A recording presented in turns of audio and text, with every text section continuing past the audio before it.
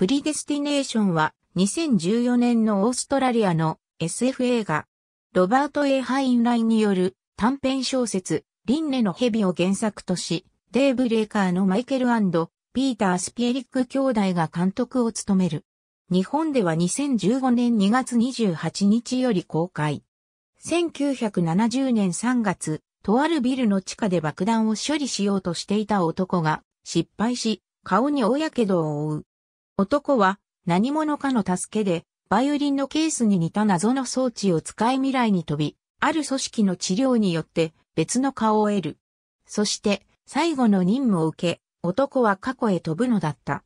1970年11月、ニューヨークは連続爆弾魔、フィズルボマーにより混乱していた。アルバーにやってきた男、ジョンは、一本のボトルと引き換えに、自らの反省をバーテンダーに語る。もともとは、ジェーンという名の女性であったこと。個人育ちの天外孤独の身であること。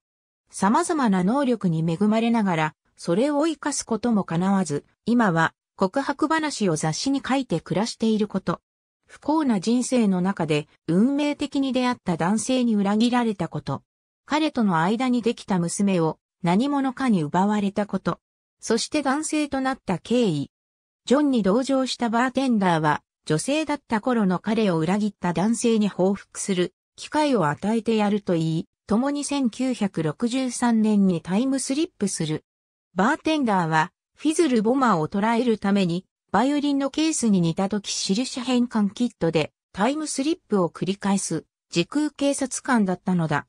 1963年4月、運命の男性と出会った場所で出会いを阻止するために待ち伏せるジョン。しかし周囲を警戒する自分の背にぶつかってきたのは女性だった頃の自分自身であるジェーンだった。当時の出会いは男性になった未来の自分自身との出会いであったと、悟るジョン。そして、ジョンとジェーンは恋に落ち、やがて激しく愛し始める。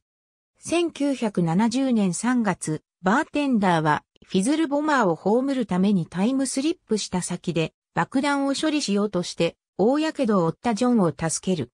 1964年3月、ジェーンはジョンとの子供を出産するが帝王切開という大手術と、子宮や女性としての必要な生殖器を摘出することになり、女性としての機能を失ってしまう。だが幸いにも生まれてきた娘は健康的だった。バーテンダーは生まれたばかりのジェーンの娘をさらう。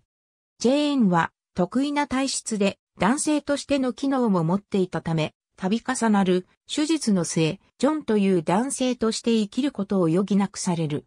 1945年9月、赤ん坊と共にタイムスリップしたバーテンダーは、孤児院の前に赤ん坊を置き去りにする。1963年6月、バーテンダーはジョンをジェーンと別れさせ共に未来に飛ぶ。そしてその未来でジョンは時空警察官となり、辞表変換キットを使って様々な時代の犯罪を食い止める身分となる。バーテンダーはジョンを時空警察官にするという最後の任務を終える。1975年1月、バーテンダーは引退するためにこの時に飛ぶ。辞表変換キットはそこで機能を停止するはずであったが、エラーを表示し停止しない。1975年3月、バーテンダーはフィズルボマーの居所を知り、銃を持ってその場所に行く。そこには、度重なるタイムスリップにより、精神を病み、今ではフィズルボマーとなったバーテンダー自身がいた。フィズルボマーとなったバーテンダーは、バーテンダーに、俺を殺せば、お前が俺になる。それがその後起こることだという。しかし、その運命を受け入れることを拒否してバーテンダーは、未来の自分を撃ち殺す。バーテンダーは、辞表変換キットを見つめ、狂気の宿った顔を上げる。その腹部には、過去に帝王切開をした手術跡が痛々しく残っていた。ジェーン、ジョン、バーテンダー、そしてフィズルボマは一人の同じ人間だったのだ。カッコ内は日本語吹き替え。ありがとうございます。